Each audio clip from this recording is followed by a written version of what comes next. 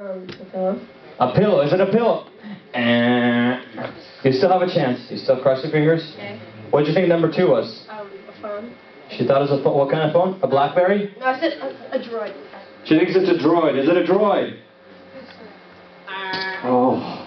Wow. Well, if you get number three right, you can still win, right? High five. Number three. We're gonna do this. Yeah. What do you think this one was? A, a toy, yeah. A toy. Let's see if it's a